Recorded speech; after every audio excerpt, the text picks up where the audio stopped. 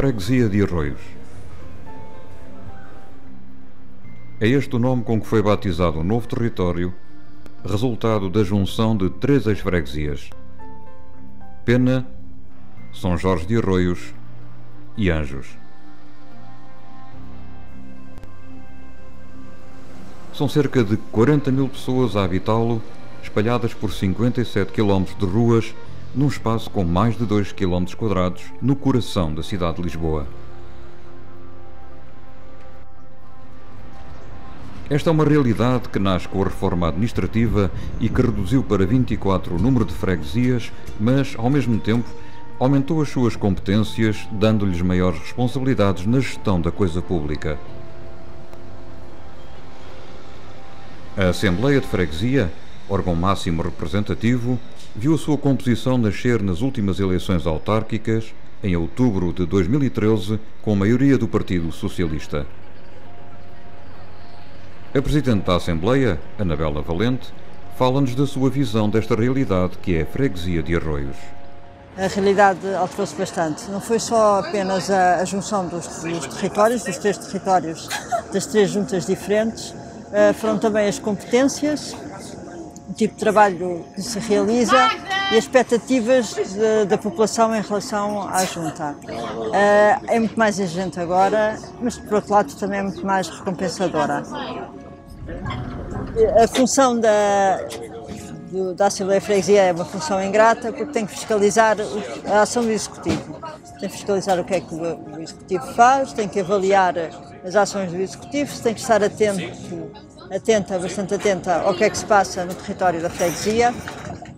Até agora, as relações entre, entre as várias forças políticas representadas na Junta têm sido um relacionamento, um bom relacionamento, um relacionamento correto, cordial, e temos conseguido uh, exercer a nossa função da melhor forma possível. Penso que toda a gente que está na, na Assembleia de Freguesia está por sentido de dever. Nós, nós estamos ali porque gostamos da causa pública, gostamos de participar, gostamos de, de, de intervir e é só por essa razão. Eu sou moradora da freguesia, moro na Avenida Almirante Reis, já moro uh, na Avenida aqui há cerca de 20 anos, portanto na antiga freguesia dos Anjos é uma área que é, para mim é extremamente próxima porque eu conheço, porque é extremamente interessante. É uma zona muito engraçada, é boa de viver, é uma zona amigável, ainda, ainda tem aquele espírito de bairro, em alguns sítios ainda conserva esse espírito de bairro, em que nós conhecemos a senhora da mercearia, a senhora do talho, a senhora da padaria, a senhora do café. Perguntamos, eles perguntam-nos pela família, nós perguntamos pela família deles. Por outro lado, esta, esta nova movida intendente, no lar do intendente, conseguiu dinamizar e conseguiu limpar ali aquela zona, trouxe outro tipo de população para a freguesia e o intendente é dos largos mais bonitos de Lisboa. O resto da freguesia é uma freguesia muito heterogénea, tem aquela parte da colina de Santana, que é uma, uma colina fabulosa, fantástica. Almirante Reis é uma artéria histórica, une toda a freguesia. Depois aqui a parte mais, esta parte onde nós estamos, que é uma parte diferente da freguesia, é uma parte com uma população uh, que não tem nada a ver com a restante população. Aliás, o que é curioso em Lisboa é exatamente isto: é, é, é, a especificidade de cada zona, mas depois tudo se junta, nada é igual e tudo se junta e tudo convive bem, e as coisas convivem de uma forma, e, e, uma forma harmoniosa, não há, não há grandes tensões. É, o que eu acho é que, é que as freguesias estão neste momento num momento de viragem. Ou adquirem mais, mais, mais competências, adquirem mais visibilidade, uh, adquirem outras formas de intervir no espaço público, de intervir na, na, na, vida das populações, têm outro poder de decisão. Agora vai depender da forma como as juntas souberem integrar e gerir estas novas competências e para conseguir mais competências, que eu penso que será esse o caminho, porque já, já em muitos, em muitos aspectos já se provou e já se percebeu que as juntas desempenham melhor alguns papéis que a Câmara Municipal. Arroios tem imensas potencialidades, porque tem todo este território expectante em termos de espaço público, e depois, porque já se percebeu que é uma junta dinâmica, é uma junta que consegue estar perto das populações, consegue fazer com que as populações reajam, interagem, participam E é isso que nós queremos, exatamente o que nós queremos, é que haja cada vez maior participação dos cidadãos na causa pública e que, que a cidade é de todos, a junta, o território da junta é de todos, todos têm que contribuir e todos têm que respeitar o espaço onde moram. Todas as forças políticas representadas na Assembleia contribuem para a criação desta nova entidade que é a Freguesia de Arroios. Porque o seu parecer também é importante, solicitamos aos líderes de cada uma das forças políticas a sua opinião. O meu nome é Vítor Carvalho, sou membro da Assembleia de Freguesia eleito nas listas pelo Partido Socialista. Ah, nasci na antiga freguesia de São Jorge de Arroios, uh, perto do local onde nos encontramos, uh, ah, 100 metros. E, portanto, toda a minha vida foi feita aqui na freguesia. Cresci na freguesia, brinquei na freguesia. Portanto, a minha ligação é muito, muito próxima, muito afetiva uh, e, portanto, desde, desde o início que estou ligado aqui à, à freguesia. A fusão das três freguesias, de São Jorge de Arroios, da Pena e dos Anjos, veio de facto, enfim, tornar esta freguesia bastante grande. Uh, e penso que se está a conseguir com que as pessoas que moram nesta freguesia sintam uh, que moram efetivamente num bairro que se chama Arroios. E esta junta de freguesia penso que está a fazer um trabalho nesse sentido, que de alguma forma tem, tem, sido, tem sido bem conseguido. E, portanto, a dimensão da freguesia, que se expandiu uh, de uma forma bastante grande, ao contrário do que se pensava, que iria de alguma forma fazer com que as pessoas deixassem de ter a pertença à sua freguesia, uh, penso que gradualmente está a acontecer o contrário. Ou seja, as pessoas estão a identificar-se com esta nova realidade geográfica que é a freguesia de Arroz. Obviamente que há um grande caminho ainda a fazer, enfim, eu penso que a Junta está atenta às necessidades da população, uma vez que a população é uma população idosa, embora haja já vários jovens que estão a vir para esta nova freguesia, que estão a ocupar eh, casas que estavam vazias e, portanto, eh, a animação eh, na nova realidade da freguesia de Arroz e, portanto, eu penso que com o tempo as pessoas vão de alguma forma sentir que este, que este é o seu território.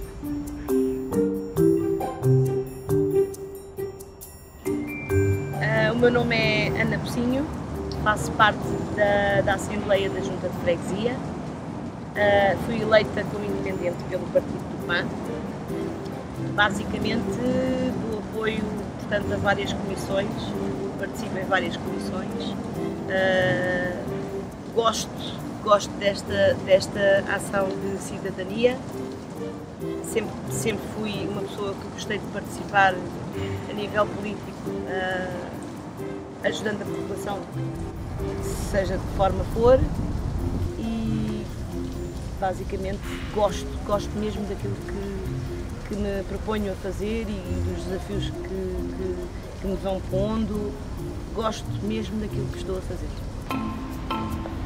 Uh, acho que, que é muito bom, até para nós, população destas freguesias, fregueses, como agora temos que ser chamados, não é?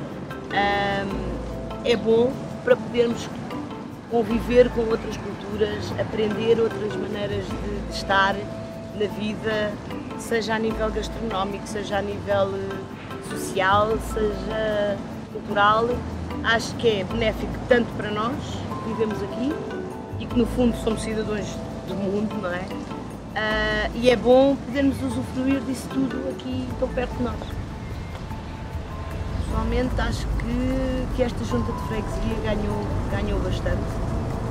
Uh, a nível de, de, de, presidente acho que não, não podíamos ter tido realmente melhor. É uma pessoa bastante humana uh, e que realmente tem, tem gosto e vontade de, de melhorar uh, aquilo que, a que se propôs, não é?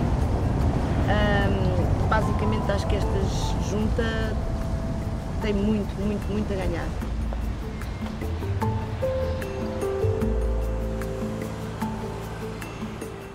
O meu nome é Damião Martins de Castro, sou empresário, estou na Junta de Freguesia, na Assembleia de Freguesia. fui eleito nas listas do PSD-CDS e, portanto, desenvolvo a minha cidadania, a atividade política, nas participações na Junta de Freguesia e também em alguns atos que a freguesia realiza e para qual sou convidado e que participo com muito gosto eh, em assuntos que seja para engrandecer esta grande freguesia.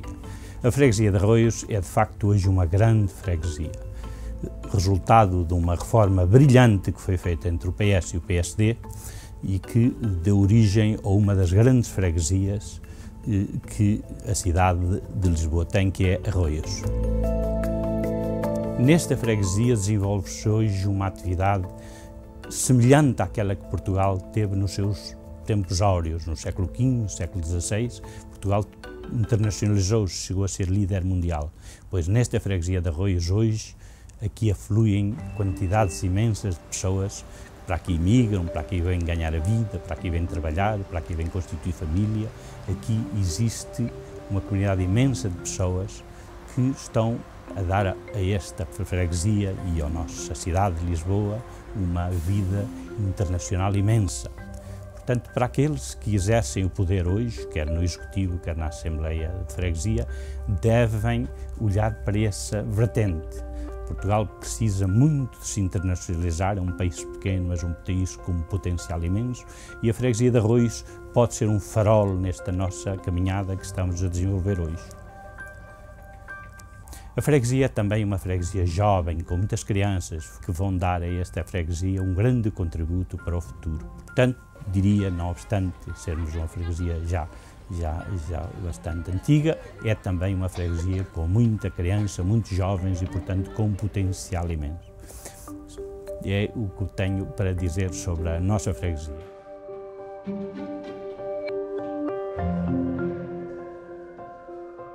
Boa tarde.